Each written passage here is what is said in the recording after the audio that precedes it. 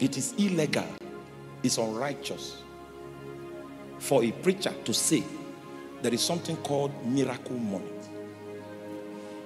Meanwhile, those kind of things thrive now because we're in a, an age where Babylon has made us foolish. He said the whole the earth also was corrupt. This is where the bondage of corruption came from. It came because those guys lost their separation. So the bondage of corruption found expression. The earth was corrupt, and God did not create any wild animal.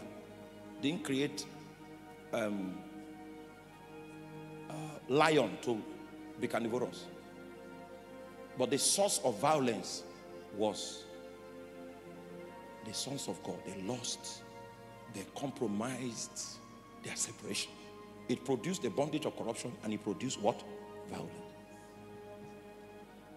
I know you don't believe that God did not create any wild animal, but calm down.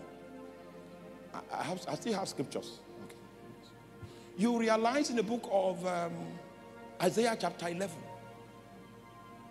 the prophet begins to prophesy about the millennial reign of Jesus. A new government was coming into the earth, and Christ was in the pinnacle of that government. Isaiah 11, beginning from verse 6. Let's do 6 to 9, then I, I rest that case, and then I continue with my story. He said, The wolf also shall dwell with the lamb. This is the day of the anointing of the Christ, when Jesus will literally sit as ruler of this space called the earth. Are you there? He said, A wolf also shall dwell with the lamb, and the leopard shall lie down with a kid, and a calf, and a young lion, and a fatling together. Can you see? No more violence. And a little child shall lead them. A little child will lead a lion because there's no more violence. Are you there? Next verse. And the cow and the bear shall feed, and the young ones shall lie together, and the lion shall eat straw like an ox. Lion will eat grass. Lion. You know, I had to open the scripture because people won't believe. We don't read the Bible again. What we are looking for is, is miracle money. Do you realize that money is not from heaven? Money is. The Ghanaian currency comes from, is it Central Bank of Ghana? Is that the name? Bank of Ghana. Are you there? So, currency in the Ghanaian nation belongs to the Bank of Ghana. It's a property of the Bank of Ghana. But they make it available to you so that you can use it to transact. You can buy on but it's not yours. It belongs to the Bank of Ghana. And that's why the governor of the Bank of Ghana, his signature is on the currency. Are you there?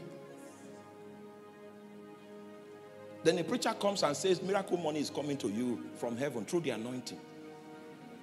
Now, now, I need to show you that heaven, the things of God are different from the things of man. Have you read the book of Second uh, Corinthians? You may not like me, but I don't even want you to like me. This is the purpose for which I was born. All right? This, this what I'm doing now.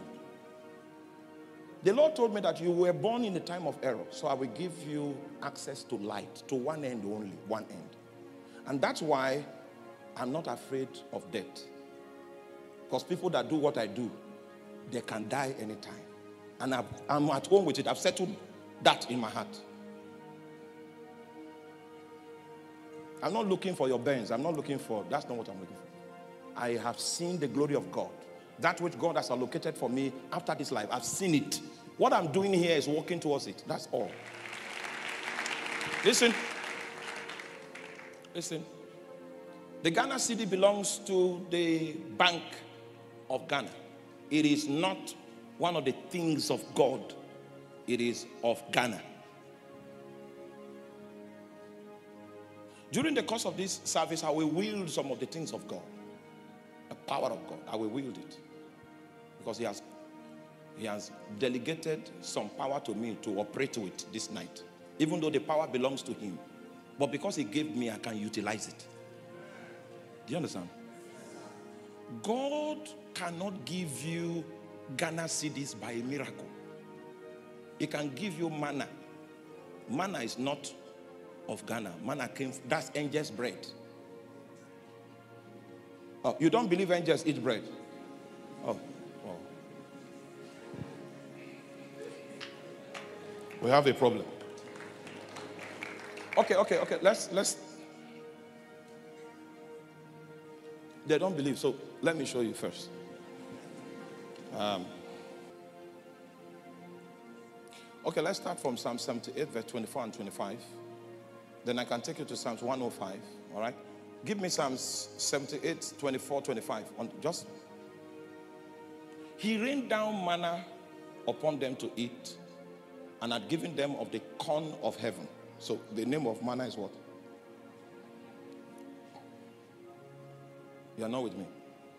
Are you with me? So the name of manna is the corn of heaven. That's why God could release it from heaven. Huh? Next verse. And men did eat angels' food. That corn of heaven is what? Okay, so we have finished that. No, no, no, no. Please. If you keep clapping my time, the problem we will reserve one time at the end of the, the teaching, then you will clap. So leave my time. Leave my time for me. Leave my time. I will I'll give you one time. Clap if you want. Then, but now we have to teach. So that's the corn of heaven.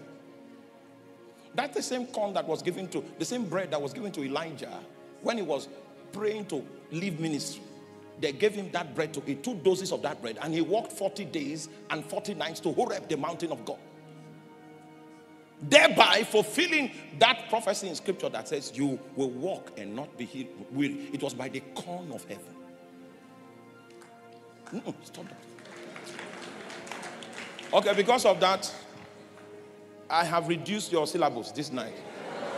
So we can clap, we can continue clapping for 30 minutes because you will like clapping in, the, in Cape Coast. I didn't come here for to I didn't come here to show you that I'm a great preacher. I came here with a message from God. I will not be able to sleep this night if I don't de- deliver it. So keep your clapping. See, when we are done, clap.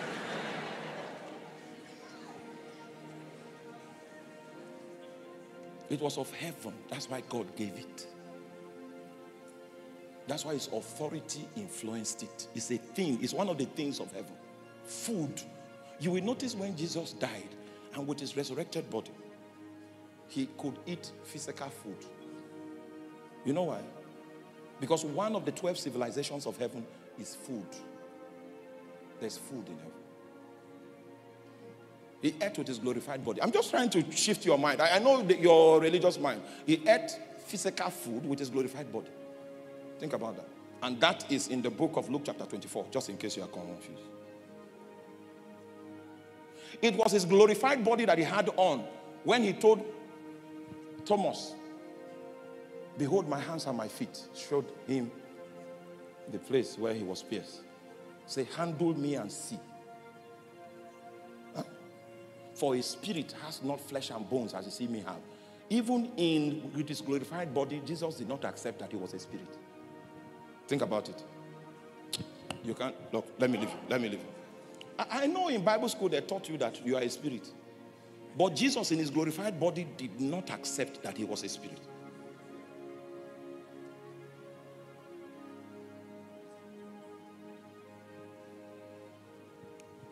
Just think about it. I'm trying to, as we are going, I will show you how Babylon has influenced your perception of the truth. And you have been a, a captive for long.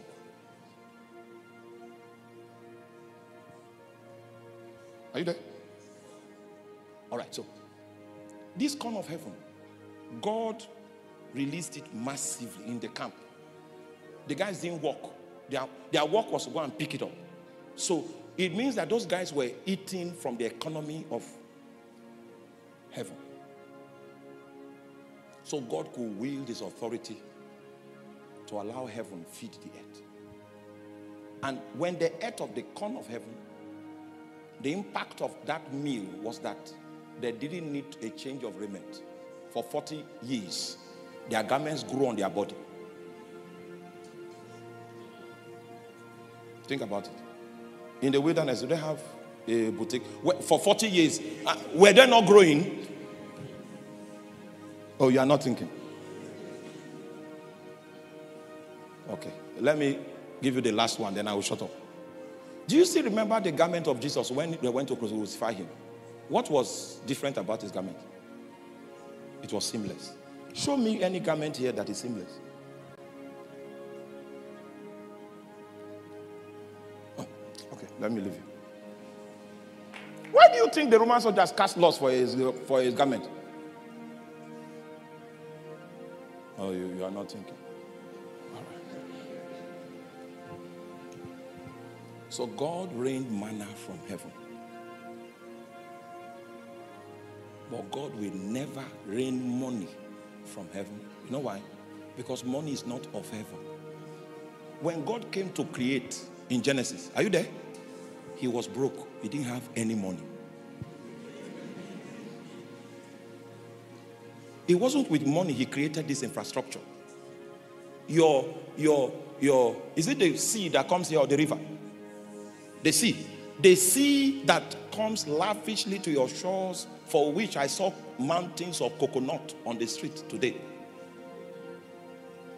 Are you there?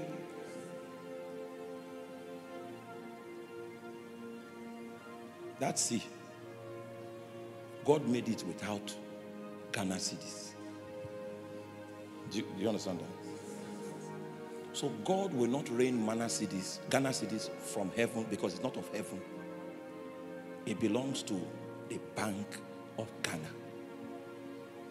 It is illegal, it's unrighteous for a preacher to say there is something called miracle money. Meanwhile, those kind of things thrive now because we're in a, an age where Babylon has made us foolish.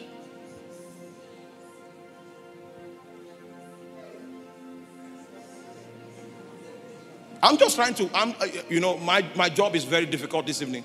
Very difficult.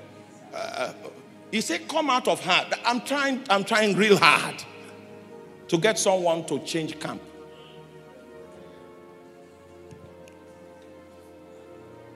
So that's what we call, that's the estimation of the prophetic anointing in our time.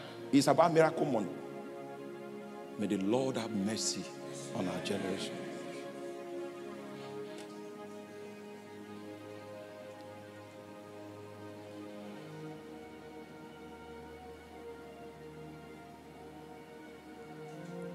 The only time that something like miracle money almost, almost happened in the Bible was when Jesus was asked to come pay temple tax. And temple tax is not a payment that a, a, a Jew, an indigene of Israel, is supposed to pay. But they wanted to cause trouble. So Jesus now said, No, so that we will, they will not offend. Jesus did not want that trouble. He saw the trouble coming. He would have claimed his right and said, I'm he didn't do that. So Jesus will never fight for his right. If you want to infringe his right, he will allow you because his kingdom is not of this world. He now told Peter, I still remember you were a fisherman.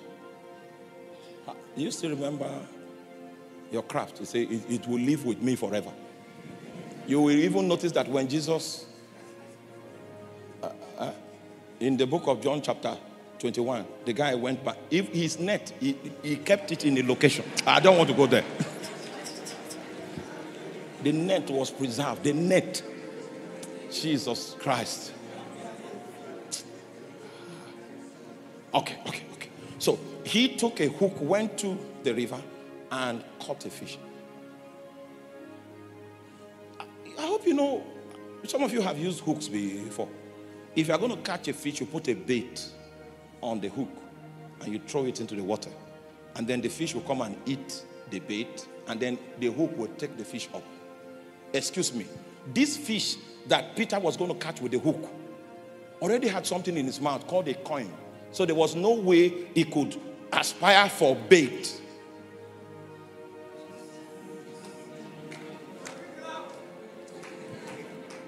You can't clap here. You're already clapping by laughing. So just keep, just be quiet. Let's see the, the time. There's a time problem. I'm already two days down. I'm supposed to be here for two more days for you people to see Babylon. But I don't have it. I'm going to Cameroon. So let's use this time very well. Do you understand? The fish had a coin, so he couldn't aspire for bait. How did the hook catch the fish? Okay, we don't know. All right, so the guy brings out the fish. I don't know where the hook was, whether it was the stomach it was, it was holding on to, but he brought out the fish and found the coin in the mouth. Now, do you realize that Peter, even though it was Jesus, God, that sent Peter to go get that fish, he had to do something before he got coin. It, Jesus did not say when you go, you just see a coin from heaven, it will drop. Then you go and pick it. No, he said you will labor. You will do something. You perform something. That's how the coin will come. Any money that you don't do something to get, the financial police of Ghana, yeah, what they call it? What? Bank of Ghana.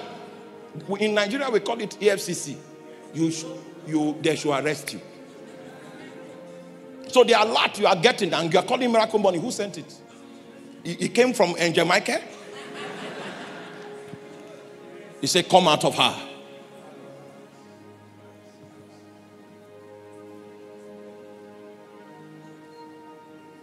If that's a description of the prophetic, we backslid long time ago. We're in darkness even now.